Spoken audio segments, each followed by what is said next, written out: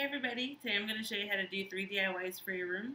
For room decor, I did find these on Pinterest and I think they look really really cute, so if you'd like to see how to make them, please keep watching. For this DIY, you're going to need a mason jar, paint, brushes, markers, and a plant topper.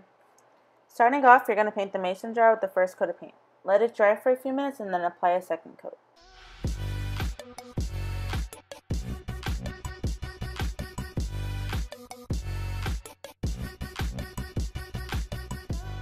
Once your jar is completely dry, just take a black marker and create the stems of the pineapple on the side. I'm not sure what they're called, pointy things, stems, whatever.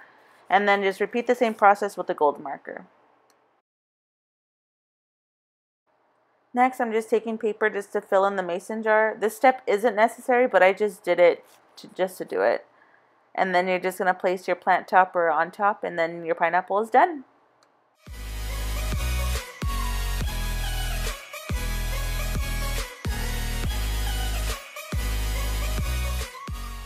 For this DIY, you will need a square corkboard, paint, brushes, and an X-Acto knife. First, I trace um, a stencil, I guess, of a half of a watermelon. I'm not sure, just like a slice, just, you get the picture. And then I'm just going to paint the outer um, edges green, just to look like the outside of the watermelon. And just go all the way around until you fully cover it. Once I'm done with the green paint, I'm just going to mix white and green together just to get like a lighter green.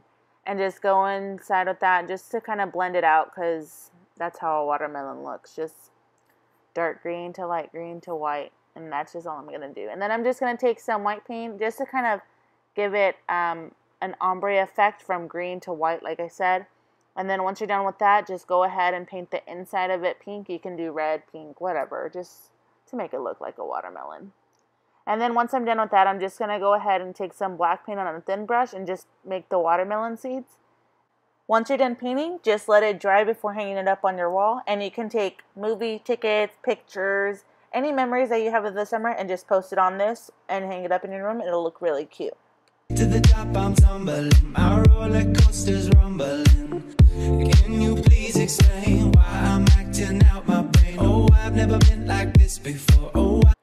for the third DIY, which happens to be my favorite, you're going to need flowers, a cardboard initial, paint, brushes, and an X-Acto knife.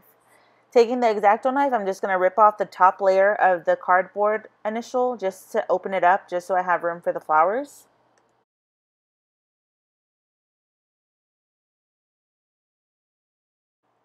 Next, I'm going to paint the outside of the initial um, a light pink just so it doesn't show any brown because the colors I'm using are pink and white and purple and I don't want any brown to show so it doesn't look ugly.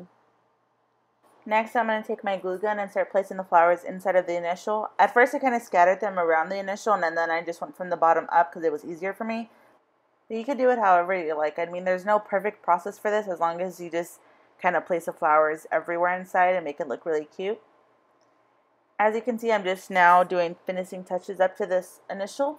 And once you're done, you can place it anywhere in your room or in your bathroom, on your vanity, on your dresser, wherever you like, and it'll look really cute wherever you put it.